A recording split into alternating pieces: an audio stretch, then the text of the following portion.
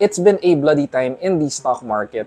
The stocks of Apple are down over 10%, Facebook or Meta nearly 13%, and the crowd favorite super performer chip maker Nvidia is down by nearly 7% in just one day, even if you are not invested in these individual stocks directly. Let's say you are just invested in Philippine stocks, or if you're investing in index funds via UITFs, this still affects you. Even the S&P 500 is down 3% over this last trading session. And if you look at the S&P 500 over the last 3 weeks, it's actually down by over 7% already. What's going on? Is it time to panic? Is it time to sell? This is what we'll look to cover in this video. So enough of this intro and let's go. But before anything, if you are new to this channel, hi, I'm Mark. It's nice to meet you. In this channel, I talk a little bit about lifestyle, but I mostly talk about business and investments. So again, thank you for supporting this channel. I know a lot of you have gotten started on investing because of channels such as this. We have a lot of platforms, a lot of tools now out there that make investing very affordable. So even if you might be a small-time new investor, unfortunately, this affects you too. So I wanted to give you some guidance, some general perspective of what's going on.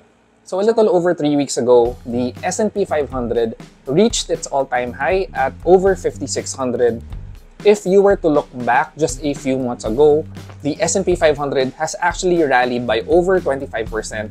So the S&P 500, again reflecting the sentiment, the performance of the general global markets, is really experiencing all-time highs. So that's the context of how positive, how bullish the market has been. Analysts and investors have been feeling upbeat. Now, one of the more crucial reports that came out last July would be the data on jobs created in the last month from the forecast of 175,000 jobs that were to be created, the actual resulting data was only at 114,000 jobs. This means that there are over 60,000 jobs that were expected to be created that actually didn't happen. So this has put the market into a bit of a panic.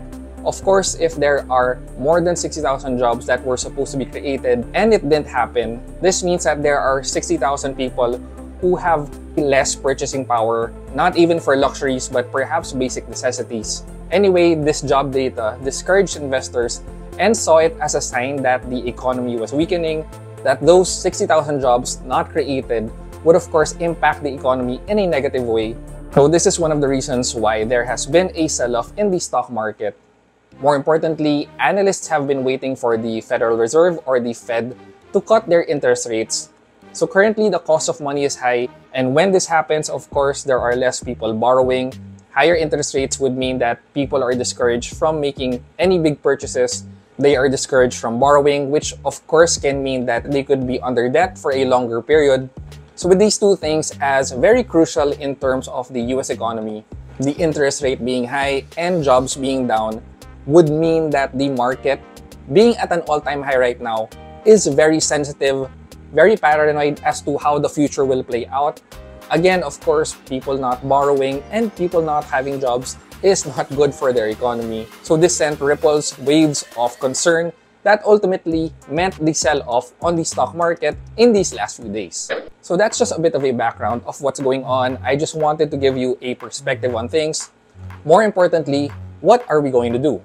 So the first instinctive thing that you might do as a knee-jerk reaction would be to actually panic as well and sell your positions, stocks, or even UITFs.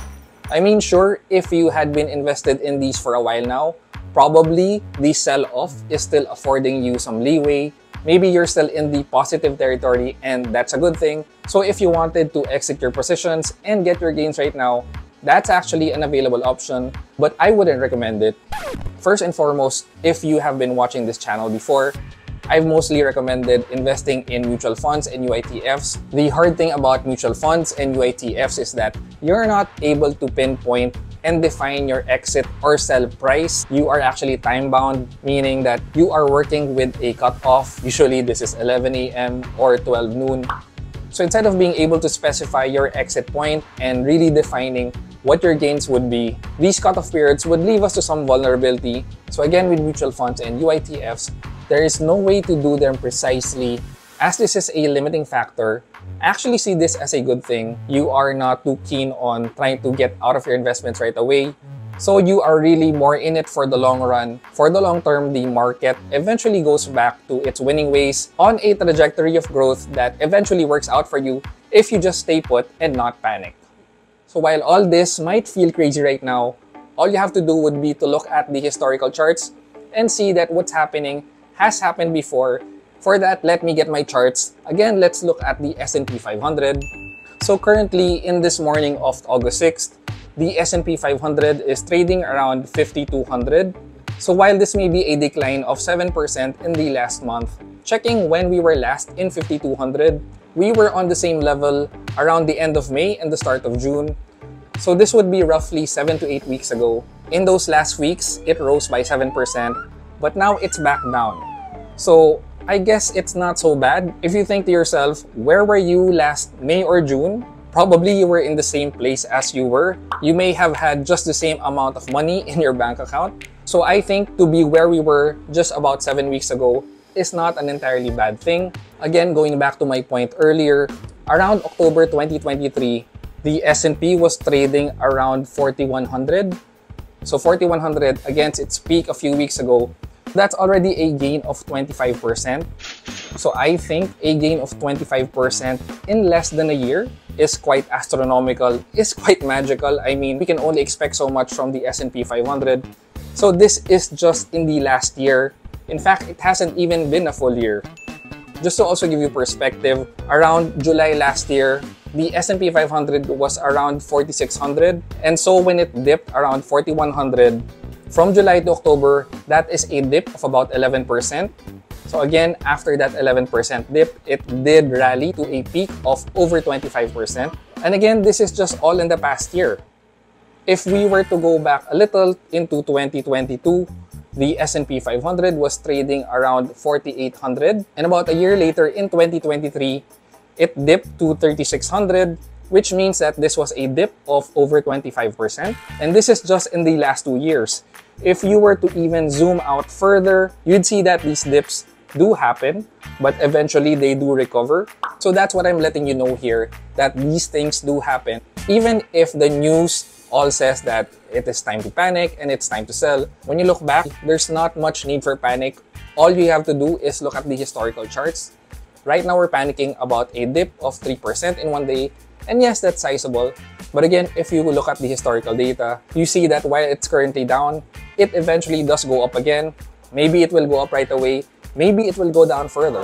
But again, if you zoom out, get a better perspective, then you'll see that it's not really something to cause alarm or worry about. So with this in mind, what am I going to be personally doing? Again, I'm just speaking for myself. Well, I've always advocated regular investing. In fact, I've had a series of videos before about investing $1 daily via BPI's US Equity Feeder Fund so with BPI, you can even invest 50 pesos through your regular peso account. Small investing lets you average out your cost.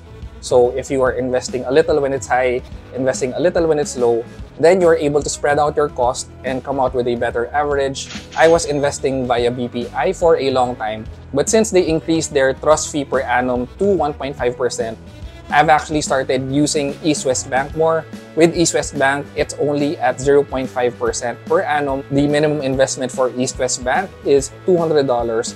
So I'm actually able to invest maybe every other month. So I am also doing that regularly. Perhaps it's not as regular as the $1 daily strategy, but I've showed you that this strategy can actually work out looking at the historical performance. So again, that's $200 every other month when I'm able to reach that minimum. So I will continue to employ that strategy, hoping and seeing that it will most probably work out. And I'm not gonna lie, I'm actually looking for these dips. I'm looking for these opportunities wherein I can be more aggressive, investing more of my money because I'm seeing that the market right now is really correcting. So this is now an opportunity for all of us to be looking at bargains, so to be able to come in to find where these stocks could bottom, these ETFs. That is something that you can look out for how to do that, that's actually the hard part. You can read charts, you can look at fundamentals, but as always, your guess is as good as mine or maybe even better. So basically, I'm taking this opportunity, this panic phase, to continue investing regularly and to be looking for bargains. As Bo Sanchez says, when the market dips, this is like the store going on sale. So you just have to be finding the right bargains, the right stocks at the right price, the right index funds, so that you are able to really make good on this in the long-term perspective. So yes, especially if you are new to investing, take this time as a learning experience. This is actually a good time to see how the market reacts, what events happen in the global and local perspective that affect one another. In as much as your portfolio might be down, I would not feel too bad about that. Again, just zoom out, look at the charts in a historical perspective. So what do you think about all this craze in the market right now? If you've liked this video, please don't forget to like, comment, and consider subscribing if you haven't already. Thanks again for watching guys and happy investing.